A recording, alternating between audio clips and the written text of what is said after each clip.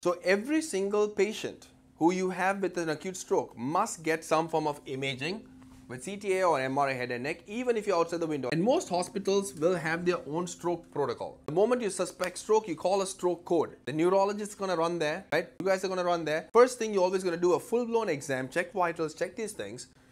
Next important thing, immediately is imaging. Okay, because clinically you suspect a stroke, but the imaging is going to prove if the patient actually had a stroke or not. Now, on a CT scan, are you going to be able to prove that the patient had a stroke? No. Then why are you doing it?